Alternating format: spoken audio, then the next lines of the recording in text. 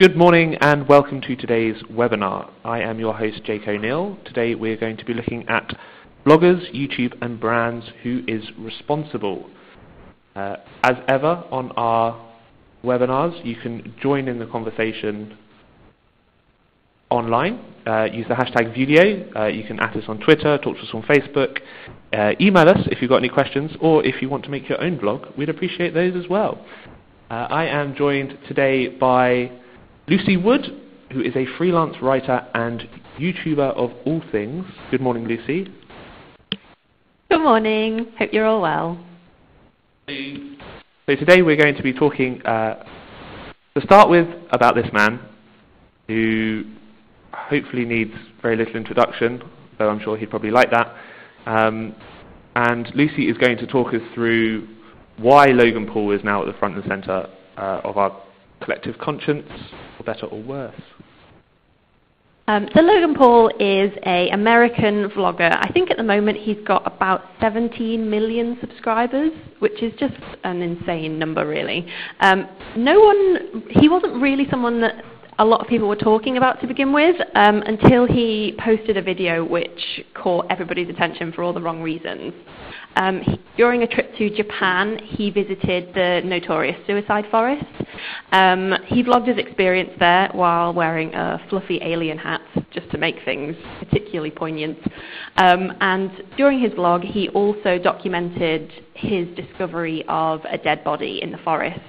Um, and the way he addressed the discovery was very just completely inappropriate, shocking for everybody to, to see, um, and it was something that caused a huge backlash online. Um, and then his reaction following that backlash was also something that was really heavily debated in the media.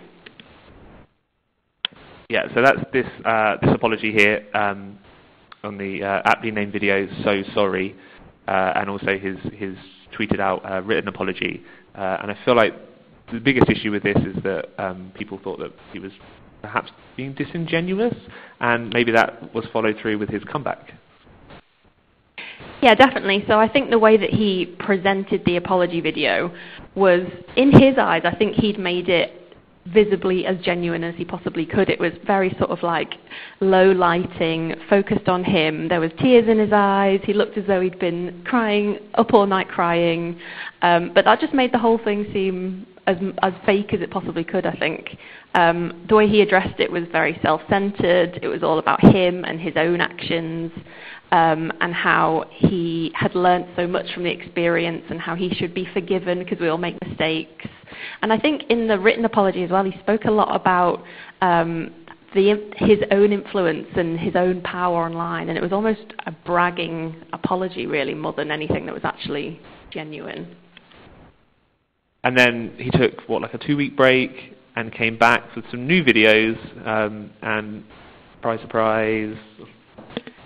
Yeah, so I think he took maybe two or three weeks offline, um, which was a lovely experience for everybody else, but then came back with the most bizarre video of all time. I think he was supposed to be some kind of like, it was like the dawn of man. He was like some kind of caveman or something, and it was all supposed to be like super funny, but I think he'd forgotten about the fact that actually none of this was very funny in the slightest.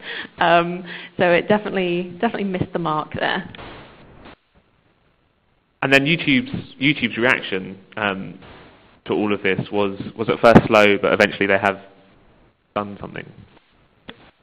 Yeah, so I think it took over a week for YouTube to issue any kind of reaction, which was kind of bizarre to be honest, because the video was top of the YouTube trending page um, for a good 24 hours, I think.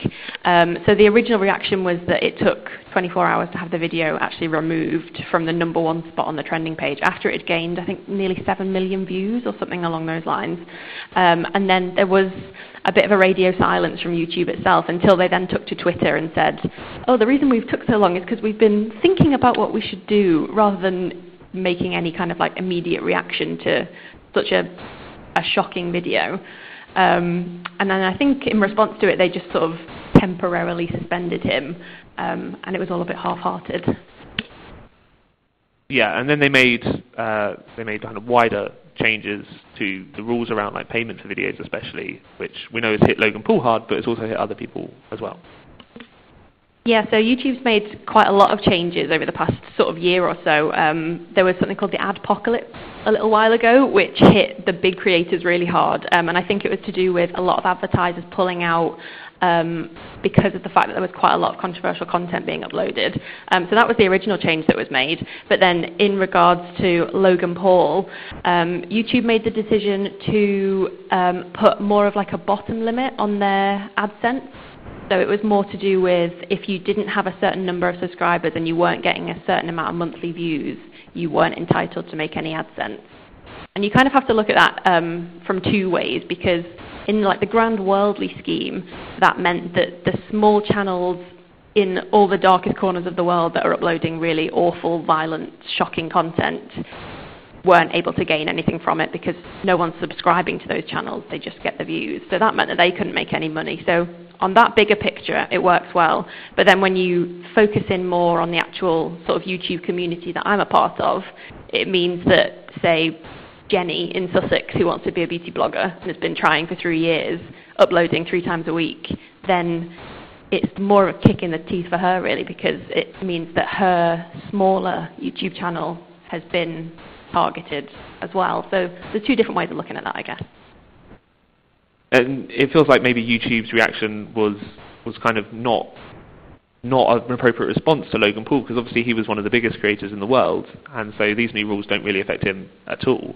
It's it's protecting themselves against, like you say, the extremist content, but also maybe protecting their brands from having to deal with anyone that's, that's controversial. Yeah, absolutely. I think it was it would have been a really good opportunity for YouTube to kind of make an example of Logan Paul because he be kind of he kind of became this one representation of YouTube as a whole, which was really frustrating for all the other creators who don't really want to be associated with that kind of thing. Um, he became such an example of YouTube that it would have been a perfect chance for them to really use him as the opportunity to say, look, we won't stand for this, we won't accept this, crack down on it, make an example of him, and kind of take some quite like maybe quite extreme um, actions on his channel, either take his channel down, completely demonetize it, stop promoting him. Any of those things would have been really good, but instead, he I think he got like a temporary suspension on his advertising, um, which I think is now back in full force. I don't think he's lost subscribers from the the experience. I think he's actually gained a huge amount of publicity because he was also then discussed by every major news outlet across the world. Not even just the the actual story of the suicide forest, but also all the articles that are along the lines of who is Logan Paul, all about the notorious blogger. And that kind of attention is only going to benefit his channel, if anything. So I think the whole thing was handled in a bizarre way, really. And so, who do you think is? Do you think YouTube is responsible for that then? Because obviously, there's there's kind of four elements to like, the responsibility of content. It's the person that creates it, um, YouTube itself for hosting it, it's the brands that advertise it to support it, and then it's the audience for watching it. So who is? How does that kind of work? Um, I think if you look at the bigger picture, there's the four elements of that. Um, I think YouTube is probably the top of the umbrella of all of that um, because it has kind of become this platform where content like that is celebrated and it's all about who can shout the loudest, who can have the craziest clickbait titles, who can like really push that shock factor across because that's what YouTube seems to be rewarding at the moment in terms of promoting the content, putting it on the trending page, getting it in the news and that kind of thing. So I think YouTube itself really needs to look at the, the creators that it's promoting and what it supports in terms of its content. Um, and then I think as you could then go down from that, the next step would be the creator, because that's where it gets a lot more personal. And the thing about YouTube is that there's such blurred lines between the fact that you are this content creator that wants to reach as many people as possible but there's also such a personal element to it. And you like people watch you because they think of you as a best friend and they like listening to you because you're a pal. So they want to be able to kind of trust you and and that kind of thing. Um, so you have to remember that that relationship with your viewers is a genuine a genuine connection as far as they're concerned anyway. Um, and you have to remember that you're responsible for what you're putting across to them. You have to take some accountability for that, I think. Um, in terms of the brands being responsible, I think it's that's probably the next level down, but it is still very much up to them to make sure that they're doing the background research that they need to to make sure that the content creators that they're working with haven't got this controversial past that they've kind of buried in the sand. Um, I, like it's, it's discussed quite often in the in the Twitter, YouTube community, and that kind of thing, and amongst friends, that brands will often work with the YouTubers that are a little bit controversial or whatever, and that's not something that it's something that's quite difficult to watch because you build up yourself as a reputable brand, and then you see the big deals going to the YouTubers that are maybe getting success for the wrong reasons. And that can be quite frustrating for the rest of the community to have to sit back and watch. I think. Um, and then in terms of the viewers, I think obviously you have to take accountability for it, but then if that video is presented to you on your homepage and it's got a title that is really quite clickbaity, you, you can't help but want to click on it and give it that view. So I wouldn't necessarily blame the audience as much as maybe the other three options there. But then again, YouTube is what you make it, and your own internet space is what you make it. So if you click on that video, then you are contributing to the culture of the clickbait videos and the shock videos. And with YouTube um, being an American organisation, particularly, um, there's often conversations about free speech. So when it comes to this sort of thing, their defence is often, but it's free speech, which people seem to be confusing someone's right to free speech to um, the fact that YouTube thinks they have to host it. Is it sort of like having Donald Trump on Twitter, the fact that he breaches their violations, all, you know, all the time, but they never kick him off because kicking him off would lose them ultimately traffic? Yeah, absolutely. I think, YouTube, as I mentioned before, those blurred lines kind of make you forget sometimes that YouTube is a business. At the end of the day, they are one of the world's biggest business, I imagine, like hugely, hugely profitable. And at the end of the day, their priority is to make as much money as possible. Like as much as you want to sugarcoat it and say, oh, it's, my subscription box is full of my best friends and I love watching them every day, the platform itself is a business. And if it works in their favour to have these really hugely controversial vloggers that every that gets everybody talking and everybody onto their website and watching their adverts, then that's what they're gonna promote, I guess. But it's it's difficult to kind of like find the balance between business and integrity. I think with something like this.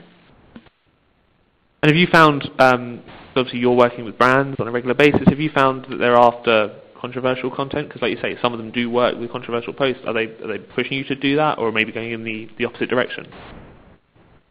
I think in terms of the videos that I do, I'm not really so much one of these kind of like daily shock factor vloggers. So I think maybe the businesses that work with that kind of content would still be looking for those really clicky headlines and titles and the thumbnails that make everyone go, ooh, like that looks interesting. Um, I think in, in terms of my area of YouTube, which is more kind of lifestyle based, I do like beauty, uh, relationships, like home life, that kind of thing. Um, I actually think they're erring more on the side of caution after everything that's happened recently. Um, I've done a couple of sponsorship videos recently where I've put forward ideas that sort of fit with my tone of channel. I'm quite sort of tongue in cheek and talk about a lot of things that 20 something girls would want to talk about. And the brands themselves have wanted to steer clear of certain topics that might be sort of a little bit controversial. Um, I pitched an idea recently that was to do with like the whole Me Too um, like Hollywood stuff that's going on at the moment, and they wanted to steer well clear of that because I don't know, I guess it's a, a little bit too on the nose. Um, so I think some brands maybe after the as many views as possible kind of angle, but others are kind of taking it in the total opposite direction and saying actually we don't want to be tied up in any of the controversy that's going on at the moment. I think it's really interesting the idea that you know you're pitching to them saying look we can do this around this topic and they're saying no. Like do you ever you ever tempted to just do political videos yourself? Not, not political, but like messages that are brands considered political yourself? Um, I I'm not like scared to talk about anything on my channel if it's something that I feel affects my audience, which tends to be sort of like early 20s, mid 20s, females, mostly in the UK. If I feel like, it, like it's something that affects them or like an issue like feminism, for example, is something that I quite enjoy talking about on my channel because it gets discussion going. My audience are quite receptive to it. It's something that they're interested in. Um, so I'm not worried about talking about anything like that. But it's just maybe I would rather keep those kind of conversations away from my sponsored videos where it, it, just falls more on my shoulders if anyone has an issue with it rather than implicating any brands or my management or that kind of thing who then would have to get involved who was a sponsored video. And with with like those kind of messages you're keeping away from sponsors? Do you ever get spon- sponsors or, or you know, collaborators who are looking at your other content and saying, actually, you're talking about this, and maybe that's not quite right, or do you, like do they ever put pressure on you not talk about things personally, or is that completely your your choice? Um, I like to keep it my choice in general when it comes to an advert or a sponsorship. Uh, I like to have as much creative control as I can because I, I only really ever want to do business when it seems genuine. I wouldn't ever want to have an, an advert that sticks out like a sore thumb on my channel. And I get quite a lot of comments which say that people appreciate that because a lot of YouTubers will just advertise anything for the sake of it, whereas I will very much sit and think about does this actually fit genuinely on my channel. Um, and I, I think it's always really obvious as well if a brand approaches you, if they have actually watched your videos before, or whether they've just seen your 50,000 subscribers, 10,000 Twitter followers, 10,000 Instagram followers, and you've ticked a number of boxes that their boss has asked them to find. I always think that comes across really obvious, whether they know your tone, they know your sense of humour. I think as well, because mine's quite niche as well, it's quite like a self-deprecating kind of tone really, so it's always quite obvious whether they've actually ever watched my videos before or not. So that's always a bit of a factor when it comes to that as well. What advice would you give brands and PRs that are listening to approach you in the right way and to come up with good content collaborations? Um, ideally, as much creative control as possible. Um, I always like to receive an email that kind of shows that they have actually watched some of my content and they understand what I'm about and the kind of like vibe and message that I like to put across. I always like to know that that's something that they've acknowledged. Um, if they kind of approach me and say, "This is what we're um, kind of like advertising or we're trying to sell or whatever," um, we'd really we'd be keen to hear some ideas from you of how that might fit into your channel. If you've got any ideas of how that could work for you, we'd be really open to hearing that. Um, and then I like to have a kind of like a little bit of a discussion or negotiation about how their idea and my idea could actually come together before they just fire over a brief and say, look, we're looking for this video which talks three minutes about this product within the first five minutes because that's so structured and kind of like strict for what you have to stick to. Um, and then obviously my management will also then step in and say, oh, how about we do this? That could work much better. Um, and it's just more of kind of like a discussion rather than just a straightforward, this is what we're looking for, can you do this for us? So how does it work with how does it work with management? So you can feel free to name drop your management, but like how does it work with management and making decisions? Is it is it collaborative between you and them ultimately? Uh, yes, so my management is above the fray uh, for anyone who's interested, um, and basically I will I will usually receive the emails straight into my inbox, and then if it's something that I feel I'm interested in working on, if it's a brand name that I'd quite like to work with, or a topic that I'm interested in, I will then forward it on to my manager, um, who can then do the more kind of like admin style negotiations. Um, and then they'll usually give me a ring and say, this is what they're keen to advertise, is that something you're interested in? Uh, this is the initial idea that they have, but they're open to your suggestions. How could this work on your channel? And because they understand what I like to do, and they know my channel and my audience really well, um, it's usually quite a collaborative thing. And if there's anything that they think is a little bit too risky or whatever, they'll knock me back in line and say, how about we do this instead, or that kind of thing. So it's, it's like an interesting, like creative discussion that we usually have. And we're seeing, um, obviously we spend quite a lot of time talking to different bloggers and vloggers, and we're seeing a trend in, um, it used to be that brands would get in touch for like a one-off post or a one-off piece, or they've got a new product, it's a launch, and then that's it. It's kind of on your blog and, and then disappeared is it more a trend now towards like long-term collaborations, like working over a longer period of time? Yeah, I've actually had a couple recently that um, have turned out to be ongoing sponsorships rather than just like one-off adverts that appear every now and again. And I've had a couple of like repeat brands as well who've wanted to come back and work with me. Um, so I've recently just had a sponsorship that's for a whole year rather than just like a one-off um, campaign or whatever. And I think that shows like a really nice element of trust in that they trust the fact that you're going to continue to produce that great content for the next 12 months. Um, and I think it's nice for the audience as well to see that you actually believe in a product that much that you're willing to kind of promote it for that ongoing period rather than just think, oh, it's a quick check or whatever, that's fine, I'm a bit skint this month. Um, so I think it's quite nice to have that like ongoing relationship with a brand. And obviously, you don't have to give us any details specifically, but um, with with like a year-long collaboration, like how does that work? Are they after like a certain number of videos? Are they after uh, up to you what you do? Is it so? How does that work on a like a creative?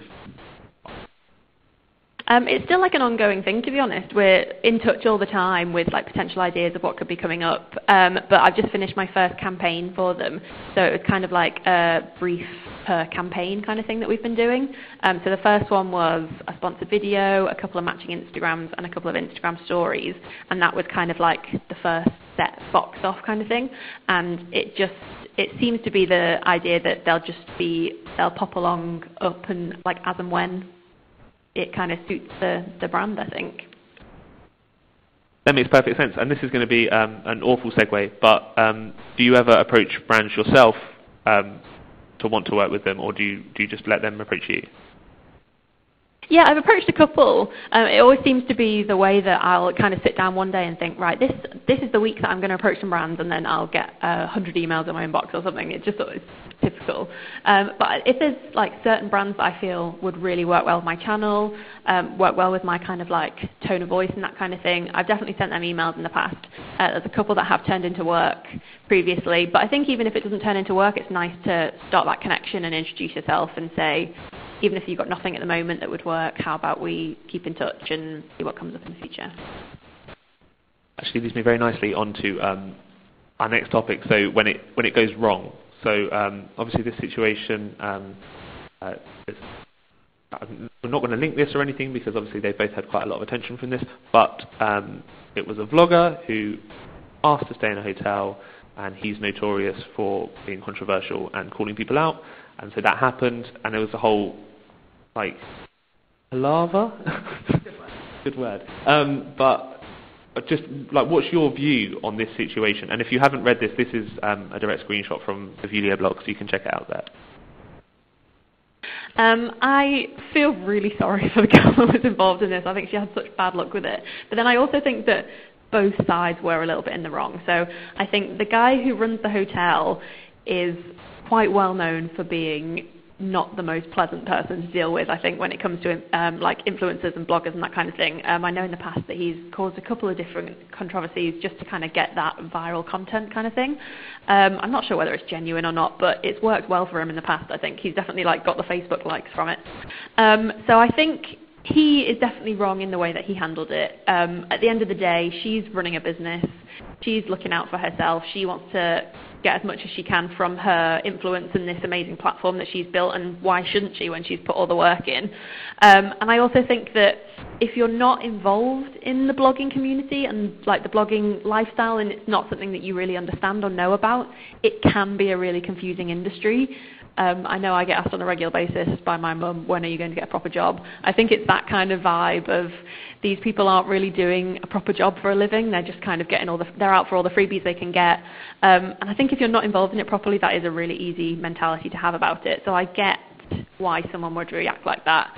Um, but I also think that her approach to it wasn't necessarily great. I, I saw the email that she sent out, and it was very polite and it was friendly. Um, but I think if she was really pitching that as a business idea rather than just, oh, is there any chance I can get a free weekend? It should have been a little bit more structured, and I don't think she really sort of mentioned what she could provide for them, what in terms of like um, the traffic that she could get to their website, or she didn't really give any specific examples of the achievements that she'd done in the past or anything like that. I think it was just a little bit rushed. Um, and I think it could have just been done a little bit better. Um, but I'm I'm fully team blogger on that one because I think it was I think it was really embarrassing for her, and I don't think anyone should really be criticised for trying to make a living and run, run their business. And it is just a part of blogging that you you have experiences like that and you work alongside people for mutual benefit. So I was definitely team blogger.